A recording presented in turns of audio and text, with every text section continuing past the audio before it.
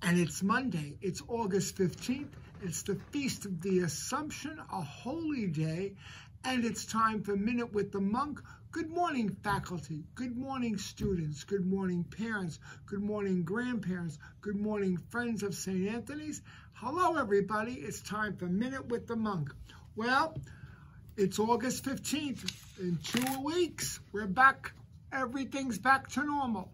Well, Regents exams are this Tuesday and Wednesday. So summer school and summer Regents prep is officially over.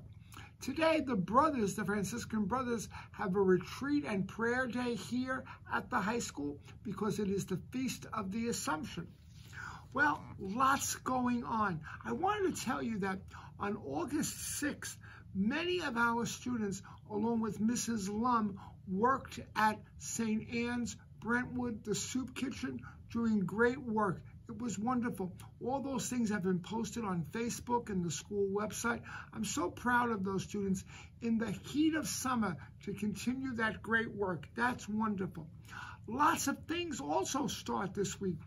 Football starts later this week. Next week, all other fall sports begin iPad distribution is around the corner.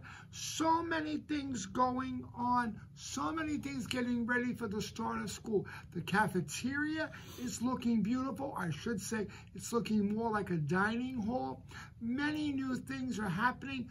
We've expanded the Innovation Center. Lots of things going on. I want to remind everybody, girls especially, this blouse is the blouse, seniors, you began with as freshmen, and it is the only blouse that is acceptable this school year. So please, when you come to school, this is the blouse you're wearing. Don't even think to come with another blouse because that will not be acceptable. This is the blouse we're wearing. If you haven't done that, you better get one real quick and borrow one because this is it. It's as simple as A, B, C everything will work out well.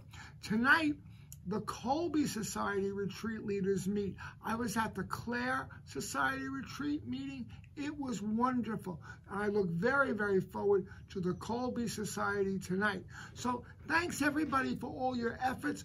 Enjoy these last weeks of summer and don't forget, I'm going off the air in a second. But before that, remember, Brother loves you.